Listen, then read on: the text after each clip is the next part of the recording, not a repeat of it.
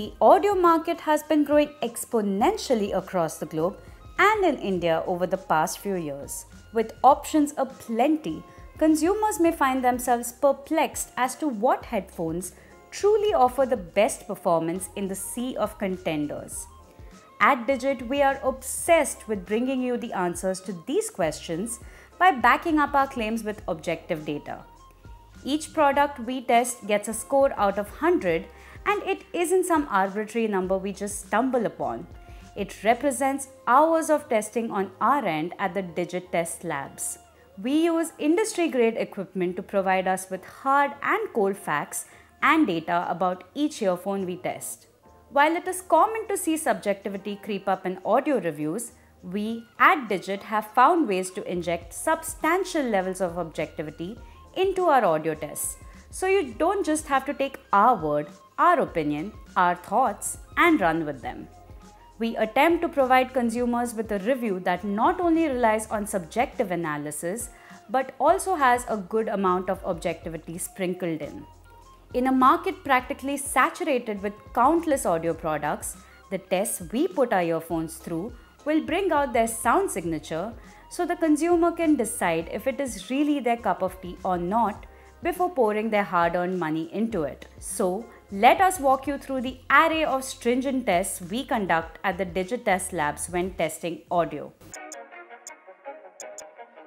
Every earphone we get for review is thoroughly used and tested for several days. During this period, we use the product as our primary headphone to listen to music, take calls, for voice recordings when playing games or watching OTT content. This gives us a comprehensive picture of how the headphone performs in various scenarios. First, let's begin with how we test sound quality we use a flat class 1 frequency response microphone from SLS Audio in Denmark, dubbed the iSemcon EMX 7150. It is a free field omnidirectional measurement microphone with a frequency range of 10 Hz to 20 kHz, which covers the human hearing spectrum. This is coupled with the 7mm Mimi M in ear testing adapter from the same company. This adapter comes with an EPDM rubber coupler and is custom designed to fit and seal IEMs or in ear headphones snugly when measuring. The earphone along with the microphone is then placed in a custom built isolation chamber to drown out ambient sounds. This setup is connected to our audio interface, the Focusrite Scarlett 2i2. All of this is then hooked up to a PC running the Smaart DI V2 software by Rational Acoustics. The software allows us to accurately measure the frequency response or the sound signature of the earphones we test using the equipment we've mentioned before. It produces a frequency response graph that details the output of the earphones across the human listening spectrum, that is from 20 Hz to 20 kHz. To measure the frequency response graph, we play a FLAC file of pink noise which is compared against a completely flat response output of the same pink noise file. This allows us to visualize the deviations in the sound signature of the earphones from a neutral sound signature in the lows, mids, and highs. The more the deviation, the lesser the earphone scores in our sound signature test. Additionally, since no headphone has a completely flat response sound signature, we also compare the earphone sound signature to a reference IEM that has a close to neutral sound and score it accordingly. The test ultimately indicates the earphone's sound signature and allows us to determine whether it is warm, bright, or neutral.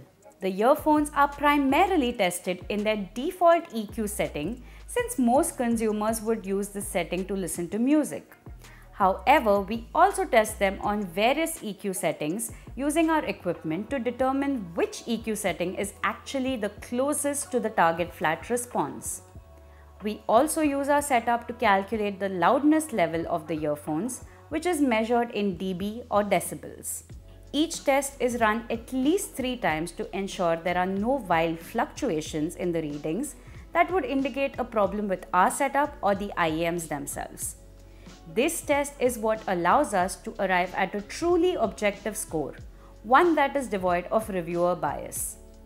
Objective testing is extremely important to eliminate bias when reviewing earphones. But subjective analysis is also important to get a more real world picture of how the earphones perform in several aspects. We listen to a predetermined list of tracks covering all bases to analyze the sound signature, isolation capabilities, soundstage, imaging, and separation of the earphones. We not only listen to high quality FLAC files when testing, but also use the earphones to listen to tracks on streaming services such as Spotify and YouTube Music to see how they perform on these platforms.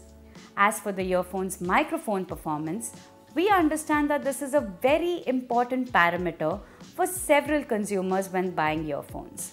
So we test the microphone's capabilities extensively by checking call quality over Wi-Fi and mobile network. Not only do we test the microphone quality on normal phone calls, but we also put them through the ringer and test them on platforms such as WhatsApp, Zoom, Google Meet, and others. These calls are recorded and then checked for distortion, muffled sound, and disturbances from ambient sounds. We also check the microphone intelligibility by voice dictating in the Notes app to see whether the microphone picks up words accurately. Moving on to wireless connectivity, we start off by testing the line of sight wireless range of the headphones. We connect the headphones to a source device, usually a smartphone, and then test the wireless range in a large open area to figure out the unobstructed range of the headphones and if they corroborate with the manufacturer's claims. We measure the distance until the wireless connection gets too weak to reliably transmit audio without quality drops. The distance is measured at least three times and then averaged out. Additionally, we also test the wireless distance in a more obstructed environment, such as a house or office, to relay a more real world scenario. We also test for noticeable latency by watching OTT content on platforms such as Netflix, YouTube, Prime Video, and others, or by playing games such as Battlegrounds Mobile India, Call of Duty Mobile, and others. Lastly, we thoroughly test the battery life of wireless headphones to give consumers an idea of what they can expect.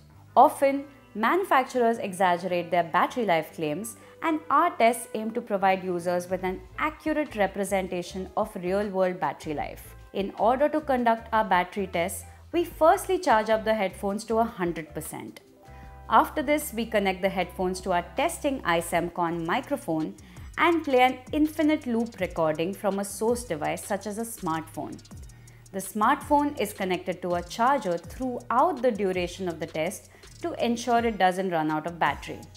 The test begins at 100% battery and runs until the headphone completely runs out of power. We review the recording to see exactly when the audio stops playing to arrive on a tested battery life number. This brings us to the end of our performance testing process for audio products. We use this rigorous and systematic approach to testing with a mixture of objective and subjective analysis to ensure that the customer gets a clear idea of how a device actually performs. We also modify our tests on a regular basis to ensure that the results we derive are as insightful as possible. So, before you scour the market for your next pair of headphones, be sure to check out a digit review of these headphones to know if you should take the plunge. That's it from our end. Thank you so much for watching.